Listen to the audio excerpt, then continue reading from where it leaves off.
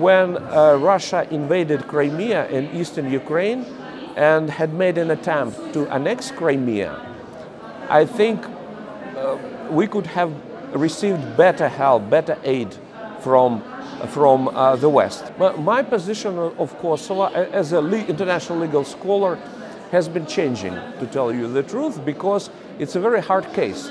It's a kind of challenge to international law.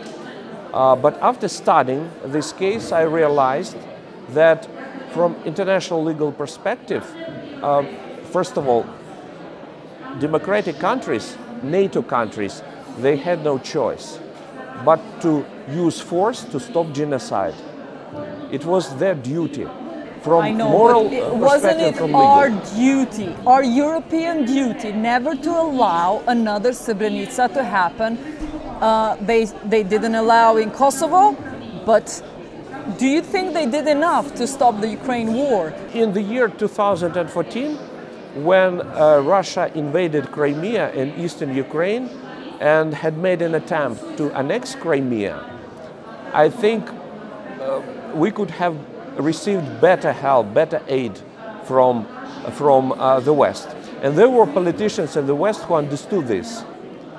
Um, one of the American senators, who, who, who was a, a friend, very close friend of Ukraine, uh, he offered for uh, the presidents of Western countries to come to Crimea at that moment. And it could stop Russian aggression. It didn't happen.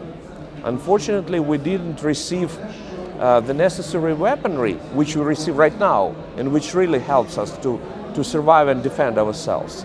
So at that time, there were no real sanctions, only symbolic sanctions. And I think that by such inaction, Putin was encouraged. And that's why he continued his aggression.